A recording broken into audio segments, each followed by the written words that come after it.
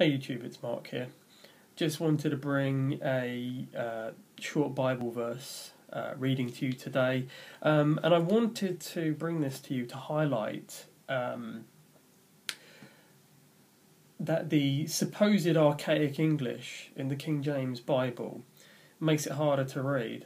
I would actually argue that this particular verse makes it a better reading I mean, I, I take the standpoint that the King James Bible is the inspired, inerrant word of God, but I'm highlighting this particular verse to highlight its superiority from a translation perspective, and I want to demonstrate that to you. So, allow me to read you uh, John 3, verses 3 to verse 7, and uh, paying particular attention to verse 7. Um, and this is um, recounting uh, the meeting between Nicodemus and Jesus. And it reads as follows from verse 3 Jesus answered and said unto him, Verily, verily, I say unto thee, except a man be born again, he cannot see the kingdom of God. Nicodemus saith unto him, How can a man be born when he is old? Can he enter the second time into his mother's womb and be born? Jesus answered, Verily, verily, I say unto thee, except a man be born of water and of the Spirit, he cannot enter the kingdom of God. That which is born of the flesh is flesh, and that which is born of the Spirit is spirit. Marvel not that I say unto thee, Ye must be born again. Now, I'd like you to take a look at um, John 3, verse 7 uh, in your King James Bible. But if you have access to the internet, which I assume you do because you're looking at this video, also to take a look at some of the other versions that are out there. Now, this isn't strictly um, a Bible version issue problem, um, but it's an interesting fact that, from what I can tell, virtually all of these modern perversions, um, they don't use the so-called uh, archaic English. They opt for modern English, and you will find at this uh, verse seven, the ye is replaced by you now, the implication there is that Jesus is solely talking to Nicodemus. So, the implication is that that truth is not available to us all.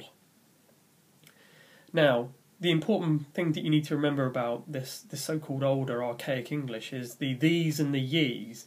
Now, when Jesus says, "Marvel not I, that I said unto thee," that part of that sentence, he's expressly talking to Nicodemus.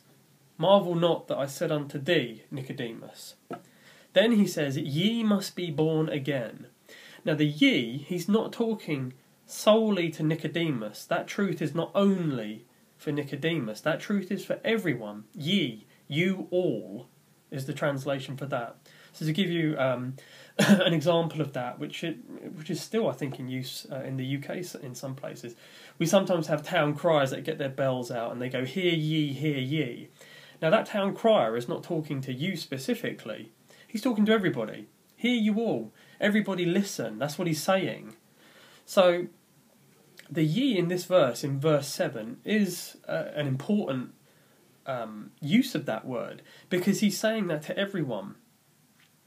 You know, marvel not that I said unto you, Nicodemus, you all must be born again. So he's not addressing just Nicodemus. Now, this isn't, um, as I said, it's not a Bible version issue video, but it's to get you thinking again um, about the language that's in use in your Bible. And again, I know that most people look at this and go, well, I know it's for me. That's fine. That's fine. But there are a lot of people that read their Bible literally. Um, and there's also a lot of truth that just escapes people. And you will find that the ye's that are in your Bible are absolutely salient and critical parts of of um, of your Bible, and I just um, say to you um, that you need to sort of pay close attention to that, and just remember that the ye is for you all. So again, I mean, just looking down here, and you see this this interaction between Nicodemus and Jesus, and again, you see uh, in verse eleven where Jesus says, Verily, verily, I say unto thee, talking to Nicodemus, we speak that, that we do know, and testify that we have seen, and ye, you all, receive not our witness. And again, there's a real truth to that. He's talking about everyone. He's not talking just to Nicodemus at that you know, about that specific part of the sentence. So the ye's are extremely relevant and they're extremely useful and they're a great great way for you to mine this truth from the King James Bible, which you won't get from other versions. Um, and you'll see that wherever there's a ye, uh, it's rarely translated to you all. There is translations that does say it. There, there are some versions that say you all, um, but the great majority, especially the NIV, just simply say you. So you know, with with with that change, especially with the NIV, which is arguably the most popular um, Bible trend, modern Bible perversion that's prevalent in churches, there's a lot of truth that gets lost. And I just wanted to bring that to you this morning that your King James Bible really brings this wonderful truth and and and directs it exactly where it needs to go.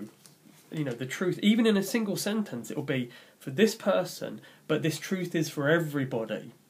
And you get that direction within even a single verse that you don't get in virtually any other uh, quote unquote translation. So I just exhort you to, you know, love the ye's that are in your Bible and the thees and the thous and the thines and all these things. They are all perfectly relevant and properly placed to give you real truth, and you won't get it in your other version. So again, this isn't a, a Bible version, um, you know, issue.